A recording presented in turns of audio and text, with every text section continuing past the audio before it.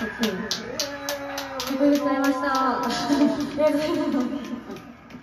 この百っていうのをこう持って、持ってあの、はい、えちに、あ、あ、ここっち側にいいですよ。ここ、ここ、ここ、こここで。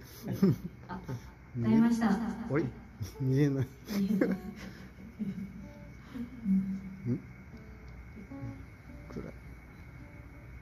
撮れなん。か写真撮ろうか。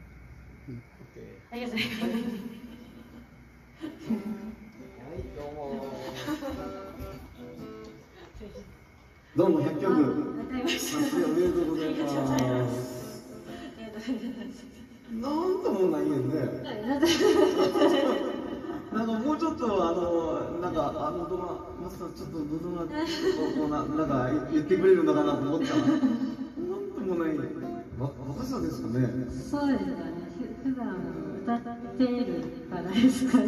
ボックスとかでもやって歌ボックスはないんですけど、まあ、うんこのあのババンドの。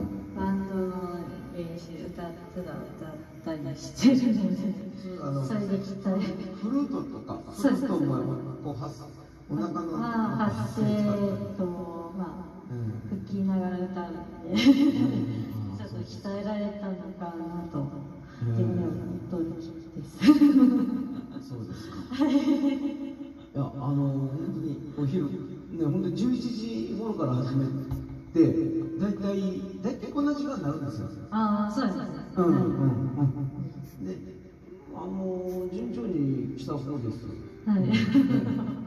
え、あの、12時半過ぎでもやる人もいますから、あそうですえ、いますけど。はいえー、まあ、あの、12時まで、え、歌ってもあ、らってもいいですかわかりました。はい。